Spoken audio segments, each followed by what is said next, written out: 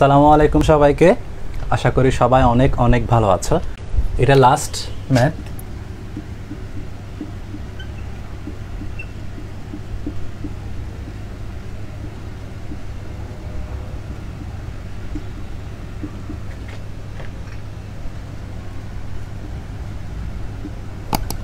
Five pH বিশিষ্ট buffer দ্রবণ প্রস্তুত করতে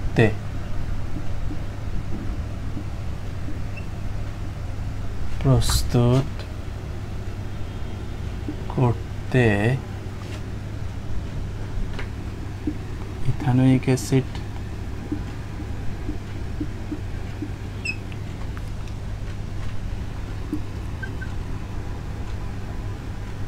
ইথানোয়িক অ্যাসিড ও sodium ethanoate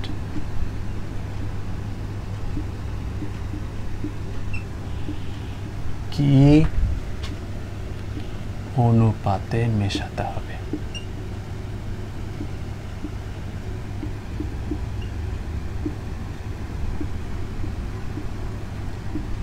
Just an salt by an অ্যাসিডের অনুপাতটা বের করতে বলছে, বাফার দ্রবণের পিএইচ দেওয়া আছে। একদম ইজি একদম ইজি পিএইচ দেওয়া আছে পি কে এ দেওয়া আছে ফোর পয়েন্ট এইট একদম আমি নর্মালি করে দিই, কেমন?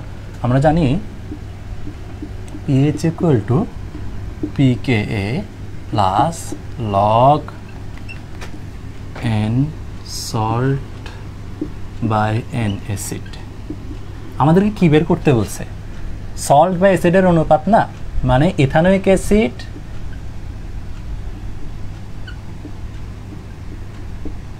আর এন সোডিয়াম ইথানয়েট এর অনুপাতটা বের করতে বলছে। কেমন? ঠিক আছে। তাহলে আমরা এখানে লিখতে পারি ডিরেক্ট মান লিখে দাও।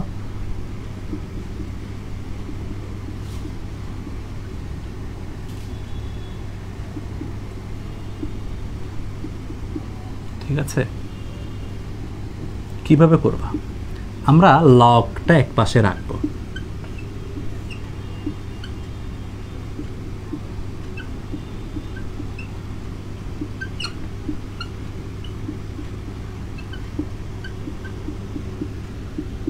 পিকে এটা ওইদিকে চলে যাবে। PH minus pK a equal to কত আসে? Five minus four point eight equal to zero point two কেমন? তাহলে আমাদেরকে লগটা সরাতে হবে। লগটা সরাতে হবে। জাস্ট এই জিনিসটা করার জন্য। লগের বিপরীত কি? লগের বিপরীত হচ্ছে অ্যান্টি লগ লগের বিপরীত হচ্ছে অ্যান্টি লগ তাহলে লককে আমি যদি ওই পাশে নিয়ে যাই, আমাকে অ্যান্টি লগ করতে হবে। তাহলে আমি যদি এদিকে only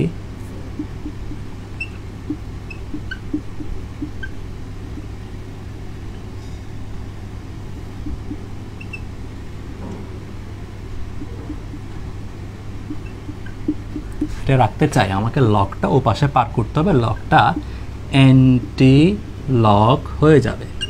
Anti lock zero point two হয়ে যাবে। তাহলে এই অ্যান্টি জিরো পয়েন্ট টু এর অ্যান্সার কী হবে বের করবা।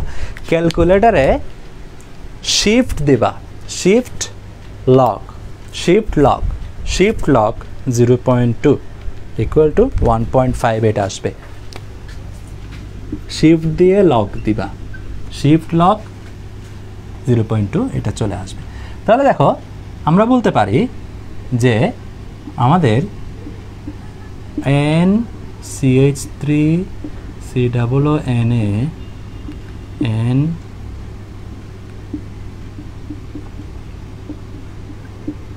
equal to one point five eight নিচে একটা ওয়ান কিন্তু আছে। দিই না আর কি। ওয়ান পয়েন্ট ফাইভ নিচে একটা ওয়ান কিন্তু আছে। কিন্তু আমাদেরকে বের করতে বলছে এইরকম অ্যাসিডটা উপরের, লবণটা নিচে। তাহলে আমি উল্টে দিব। উল্টে দিব। আমি লিখব n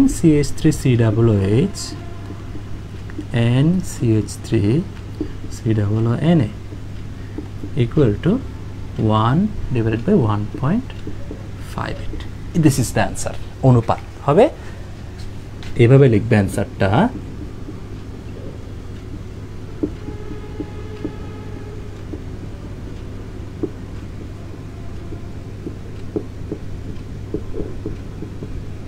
শেষ ক্লিয়ার আর একটা একটা শুধু একটু তোমাদের ক্ষারীয় বাফার দ্রবণ থেকে একটা ম্যাথ আমি করাবো। দেখো, আমাদেরকে একটা ক্ষারীয় বাফার দ্রবণ দেওয়া আছে।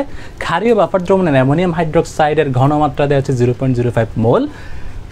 Ammonium ক্লোরাইডের ঘনমাত্রা দেওয়া আছে zero point zero two five mole. ঠিক আছে? তাহলে আমরা লিখতে পারি, এখানে দেয়া আছে দেয়া আছে ঘনমাত্রা। ঘনমাত্রা of NH four OH ammonium hydroxide এর ঘনমাত্রা দেয়া আছে zero point zero one five mole ঘনমাত্রা ammonium ক্লোরাইডের ammonium ammonium chloride sorry ammonium ক্লোরাইডের দেয়া আছে zero point zero two five mole per litre mole per litre এই ক্ষেত্রে আমাদের এখানে ডিরেক্ট দুইটা কম্পাউন্ডের ঘনমাত্রা দেয়া আছে। Mole per litre mole per litre কোনো আয়তন দেয়া নাই। যেহেতু আয়তন দেয়া নাই ডিরেক্ট ঘনমাত্রা দেয়া আছে, তাহলে এই ম্যাথটা আমরা এই সূত্র দিয়ে যদি করি, সহজে করে ফেলতে পারি ঠিক আছে? মোল পার লিটার মানে আয়তন এক। এক। এন সল্ট বা এন অ্যাসিড দিয়েও করতে পারো। আয়তন এক বি ইকুয়াল টু ওয়ান ধরবো আর কি। তো ওয়ান দেওয়া যা না দেওয়া তোমরা এইভাবে যদি করে ফেলো এই ম্যাথটা খুব ইজিলি হয়ে যাবে। কারণ এখানে ডিরেক্টলি ঘনমাত্রা দেয়া আছে। ঘনমাত্রা দেয়া থাকে না বলে আমরা সূত্রটাকে আপডেট করি। এতক্ষণ যে ম্যাথগুলো করছ, এখানে এত এম এল এত এম ঘনমাত্রা ছিল, কিন্তু এটাতে ডিরেক্ট ঘনমাত্রা দেয়া আছে। ঠিক আছে? তো কীভাবে করবা? দেখো, এটা ক্ষারীয় বাফার দ্রবণ। ক্ষারীয় বাফার দ্রবণের পিএইচ থাকে না পিওএইচ থাকে।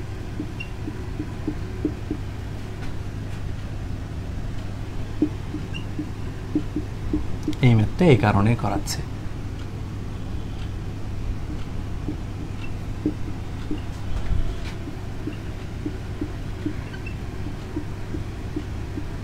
এখানে এন এন দিয়ে লিখব না ডিরেক্ট সূত্র লিখে দিব, কারণ আমাদেরকে ডিরেক্ট ঘনমাত্রা দেয়া আছে। ঠিক আছে? তাহলে লিখবে মাইনাস লগ কে বি আমি ডিরেক্ট করে দিচ্ছি, কেমন?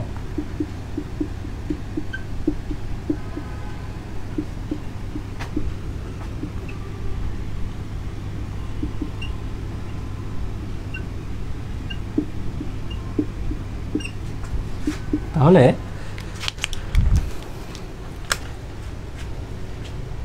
one point seven one point seven seven into ten inverse five log minus log answer four point seven five plus ব্র্যাকেটে এখানে ডিরেক্ট কাবিলাতে করে মাইনাস টাইনাস করব না প্লাস দিয়ে ব্র্যাকেটে zero point zero two five ভাগ zero point zero one five হ্যাঁ? Log answer zero point two two এটা আসবে ফোর পয়েন্ট নাইন সেভেন এটা কি? পিওএইচ ক্ষারীয় বাফার দ্রবণের পিএইচ বের করতে বলছে তা আমরা আমরা জানি pH plus pOH equal to fourteen বা pH equal to fourteen minus pOH বা fourteen minus four point nine seven equal to nine point zero three this is the answer এইভাবে করতে হবে। এখানে তুমি খুশি হয়ে এতটুকু করে অ্যান্সার লিখে দিবে না। অথবা পিএইচ ইকুয়াল টু দিয়ে করে ফেলবে না। আগে ক্ষারীয় বাফার দ্রবণের পিওএইচ বের করতে হবে, তারপর এই সূত্র দিয়ে পিএইচ বের করবা। ঠিক আছে?